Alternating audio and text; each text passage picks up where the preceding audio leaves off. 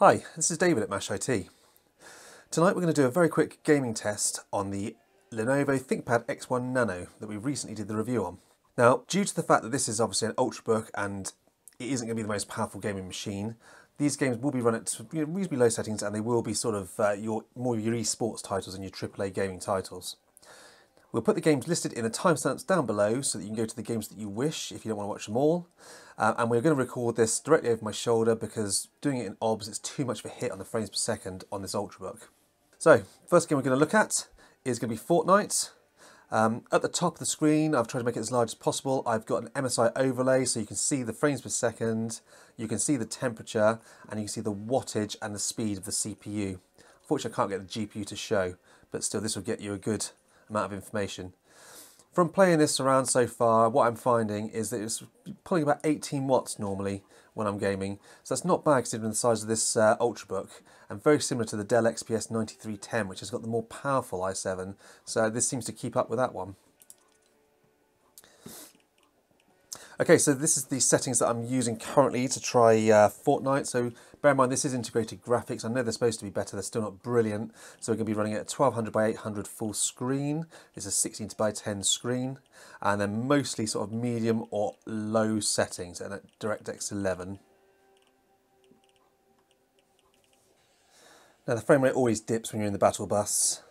Not that I'm a big player of this, but just from my experience so far using this. I uh, just wanted to also mention that this is the default uh, Lenovo install with the default drivers with just Windows Update completed, so all our drivers are up to date.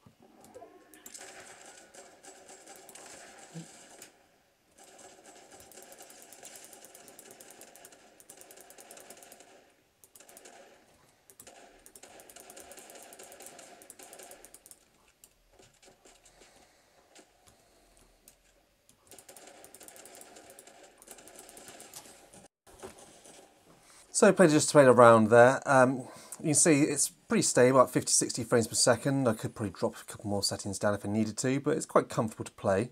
But the best thing about this is the laptop is so quiet whilst doing this. It's really nice. And also the keyboard and fan are not even that hot. So you're not going to be bothered, you know, keeping your keys. You're not going to get sweaty palms or burn your fingertips. So quite a comfortable experience.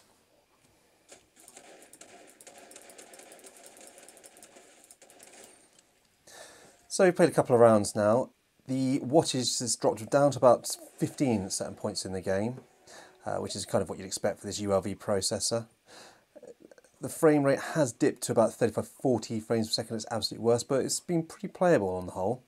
Uh, it looks good still as well at 1200 by 800. So considering this is just a tiny little 13-inch Ultrabook, I'm quite pleased with its performance, especially with how quiet and uh, cool it's running. Okay, so now we're going to test Rocket League, so nice easy game to play yet again. Um, let's have a look. I might leave on its suggested setting, so in fact, let's just try it. No, let's leave on suggested settings. We're going to leave on suggested settings, which is 1440 by 900, uh, which is 16 by 10 aspect ratio, with pretty much everything on high. Uh, it was looking pretty nice as I've just come into the game, so let's give it a try. Now I don't play this, so I do apologise in advance.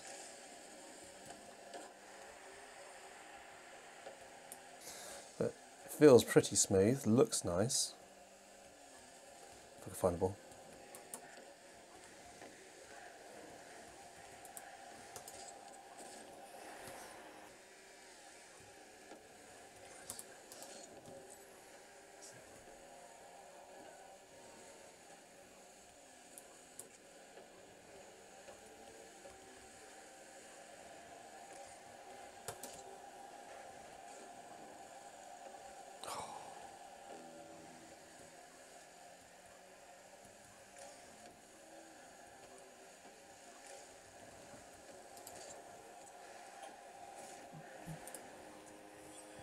It's got to be on easy mode.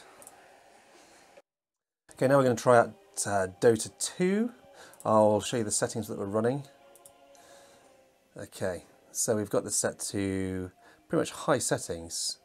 Uh, everything's pretty much ticked apart from AA, and I'm running it at 75% of its full high DPI resolution, so I feel that's must be about 1080p sort of settings. Let's go have a quick bot match.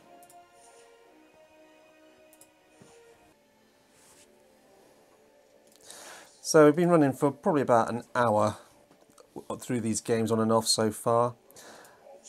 We are sticking at about 15 watts now with pretty good temps at 64 degrees. Um, you can see obviously the clock speeds are dipping down a little bit, but it's still sticking to about 60 frames per second, so not bad at all considering I've got quite high settings selected. The game looks really good. But what's great is the laptop is so quiet, you know, it's not distracting like some Ultrabooks. You don't get a nasty whiny fan noise. I'm not sure if you can see in the background, um, I've got a watt meter running. This is pulling about 37, 38 watts from the mains.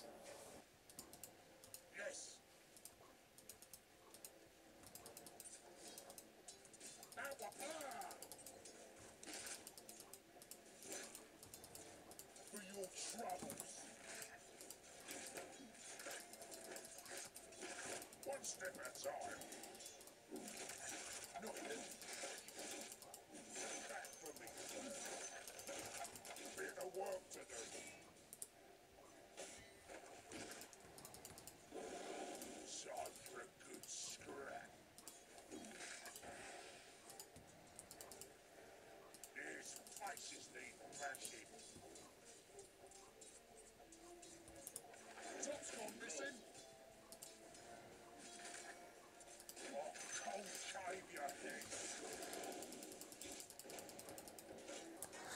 Okay, so we're going to play CSGO.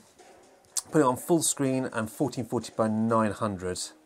And I'm going to put this on sort of medium to low settings. See how we do.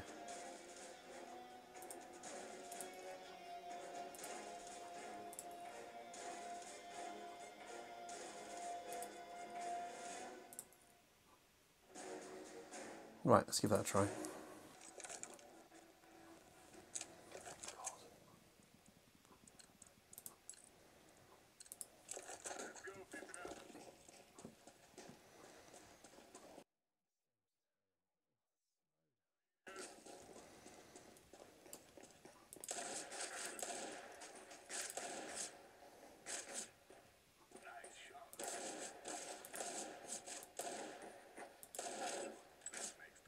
Well, this is certainly playable. As, as you can see, I've got medium sort of settings and 1440 by 900 screen resolution.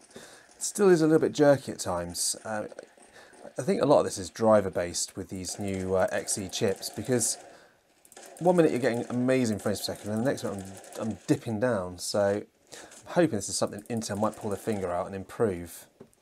But you know, this is certainly playable. For an Ultrabook, still very playable. Okay, so we're going to run the Warhammer Total War benchmark. This is set at uh, low quality 1280 by 800. So this is obviously all set to low and we're going to run the benchmark.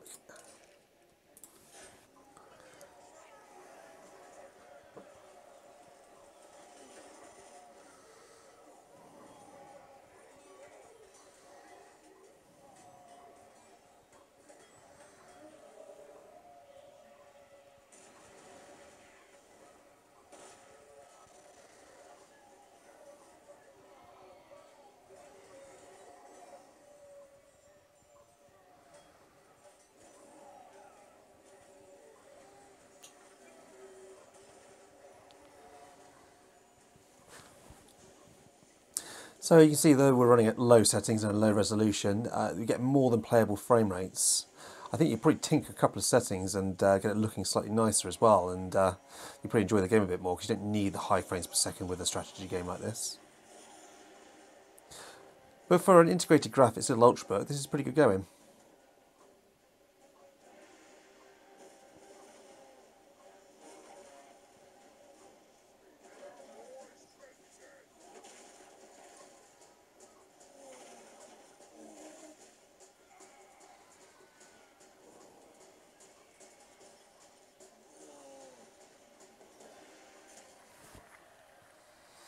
Right, so we've got an average frames per second of 85, so that's not bad at all. Now for our last game we're going to do Shadow of a Tomb Raider and we're just going to run the built-in benchmark running at 1280 by 800 and uh, lowest settings. So hopefully that you've enjoyed this video. I'm going to leave this one and uh, call it a day after this. Uh, if there's anything you particularly want to know or want to ask then please drop it in the comments down below and I'll do my best to get back to you.